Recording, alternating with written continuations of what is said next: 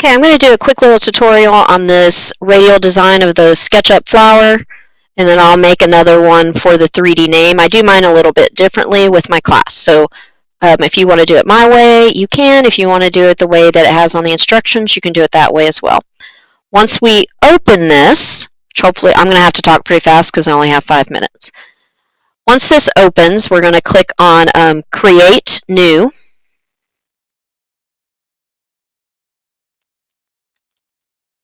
I'm going to pause this while I'm waiting. Okay, now I'm not pausing anymore. So what I'm going to do is I'm going to go to Create New, Feet and Inches. It really doesn't matter for this first one if you do meters or millimeters. I'm going to click on that guy and do backspace, or you can click on the eraser tool and erase them. I'm going to view it from the top view. There's two ways of doing this. I teach my kids the other way. You can either click on search and type in top view, or if you click on this little action camera on the side, that's scenes. This is top view, front, angled, and you can go all the way around your picture without even using your orbit tool. So I like to go to top view, and I'm told my students they don't even need these lines to start. So I'm going to use the eyeglasses, and that's your display, and turn off my axes. So now I have a blank screen to work with. The arrow tool will close it on the side. We're going to go to the circle tool right here.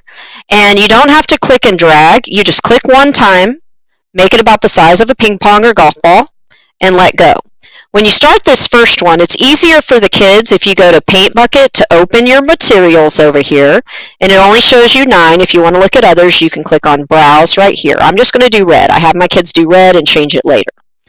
Okay, so I'm going to go back to the circle tool, and I'm going to start on the outside edge. Anytime I draw the next six circles, I'm going to start on the outside edge, and I'm going to bring it to the center. It should say center, and then let go. Where this, where the outside circumference is, where they touch, I'm going to bring that to the center. I'm always going to the center on this first layer. So here I'm going around, I end up with six. Outside edge where they intersect to the center, outside edge where they intersect to the center. I have six here. I have my kids go ahead and go to the search tool and colors and color in the outside edges just for now so they can see. Um, I go ahead and have them color all the way around. My very low kids, this is basically all they're going to do. I show other options like push-pull and orbit around to um, students that can handle it.